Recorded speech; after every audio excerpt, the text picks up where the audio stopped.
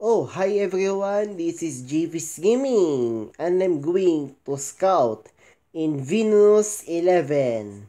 So, in this video, I'm going to scout these 5 girls with their school uniform outfit.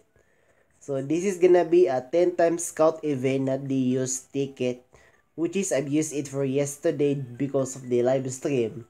So the history is I managed to recruit a new player called Kunogi Shihori which is she is currently um, bonus points with the 2% with her 2 stars. So along that I managed to recruit Hinimushi Mezuko which is I'm looking for my 88th player.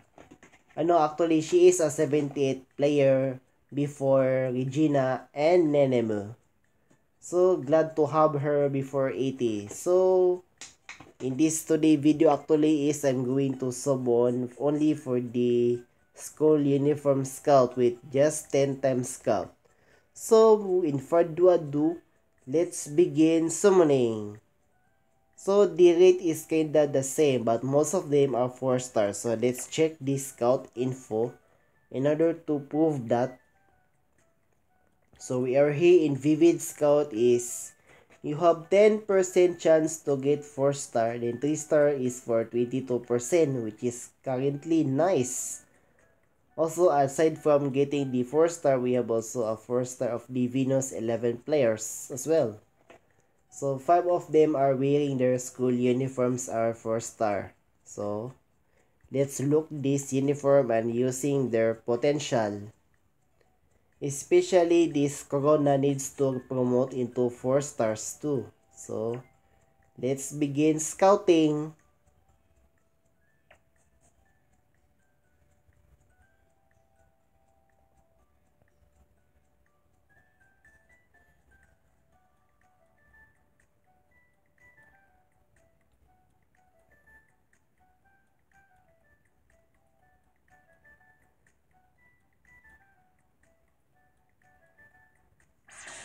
Oh, Corona. Finally, this is what I wanted in Corona. She will get her 4 star, but actually only Corona. This is not pretty handle well. Okay, my first one.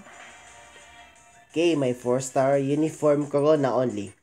I cannot skip it, so we're looking for new players possibly or maybe a 4-star players alongside her joins. Oh, this one is possibly a potential 4-star player. Some of them are duplicates, so I'm not worried about because it will increase their fame, especially from Tenko.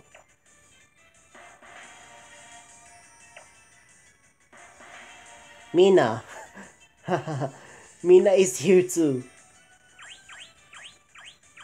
So 10% of 4 star worth worth it. Wow, I like this count. Since no 5 star, but it kinda 10% chance of 4 star are worth it. Very wow. Okay, we have a new 4 star player. And also a 4 star uniform player. So let's introduce the new five players or four players. First is that of Amimiya Rain. She has also a role of a striker. Then um, Karasawa Mizuki, which is kinda a very good defender, uh, this time is a um, kinda a dribble intercept or also a dribble guard or defender. So she is a sliding girl, right? So that's called a slide. A sliding intercept and we have also a 2 star. Hoshino Misora and 4 star called Miura Natsuhi. This is a kinda same position as of Lucille Kelly. But it's still worth it. She is gonna be actually a promising one. However, with horrible of those office Stadium and 16 Clubhouse. And we have a 4-star outfit of the Corona Becker. She is now advanced into 4-star which is pretty good. Wow. I managed to pull this girl in this summons. Oh no, summon scouts. Okay, so that's all for the for this epic. Ever No, I mean Venus 11 Scout.